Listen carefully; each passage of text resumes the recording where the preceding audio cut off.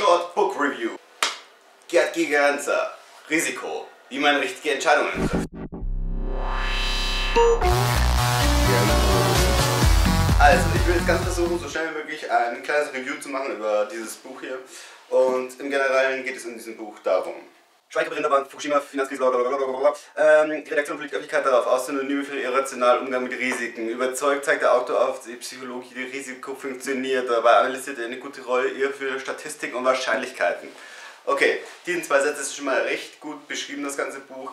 Es geht hauptsächlich um Analysen und um wie man Statistiken richtig umgeht, wie man äh, richtig Statistiken auswertet, wie man richtig einschätzen kann, wie hoch das Risiko ist und wie äh, Statistiken manipuliert werden, um einen glaubhaft zu überzeugen, halt zum Beispiel, dass äh, bestimmte Krankheiten für einen weniger risikovoll sind oder für einen eher zutreffen, damit zum Beispiel Leute oder Ärzte eigentlich einen davon abraten, bestimmte Behandlungen zu nehmen und zu machen.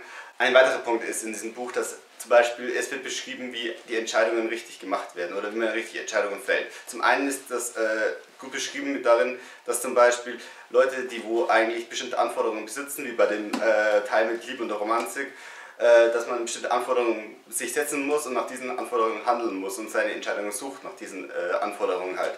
Und dann hat man eben deine schnellstmögliche Entscheidung getroffen für eine bestimmte Sache, um damit eine Entscheidung zu treffen. Ein weiterer Inhalt dieses Buches sind zum Beispiel die Risikobereitschaften, die Risikobereitschaften, die man Menschen eigentlich haben, wirklich.